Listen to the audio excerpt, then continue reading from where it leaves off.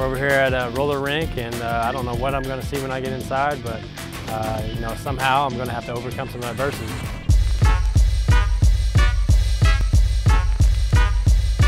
What do you think about these other two guys you're working with? Oh, they're good guys. I'm uh, getting to know them a little bit here. These guys, you know, we got to know each other and from all over the country, and uh, you know they're both good players. If I get spanked, I guess I'm packing my bags and heading back to Indiana. If I skunk them and take it home and I win, um, I guess I keep moving on and hopefully uh, I'll do better than the next challenges in the next couple days.